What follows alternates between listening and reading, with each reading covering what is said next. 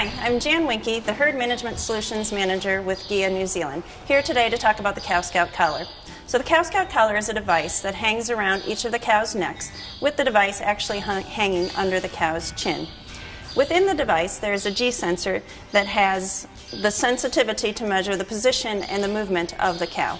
The device itself holds up to 24 hours worth of information and as long as, and when it's in range of the antenna, it transmits all of that data back to the antenna, but it can also hold it for that 24 hours. So if she's out of range of the antenna, it'll just transfer it the next time she's within it.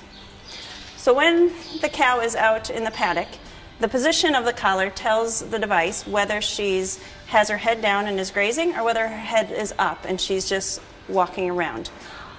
That time she spent eating is then all transferred back to the processing unit, and the processing unit then takes that 24 hours worth of data, compares it to the previous days, and determines whether an alert needs to be sent to you to notify you that the cow is eating less than she should be. The collar can also determine whether a cow is on heat.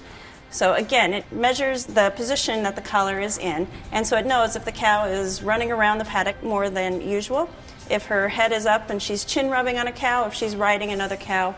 So it's measuring those specific movements to determine whether the cow is actually on heat. Again, that information is all sent back to the processing unit, analyzed by that, and gives you easy to read reports telling you that the cows are currently on heat for the day.